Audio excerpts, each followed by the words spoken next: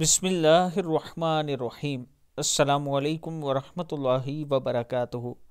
अगर चालीस रोज़ तक रोज़ाना नमाज़ फ़जर के बाद बिला फासला, यानी बग़ैर वक्फ़े के इस आयत मुबारक की सताईस बार तलावत की जाए तो इन अल्लाह ताला आपके रिस्क में इजाफ़ा फरमाएगा। पढ़ना क्या है? इन रज़ाक़ुल मतीन। इन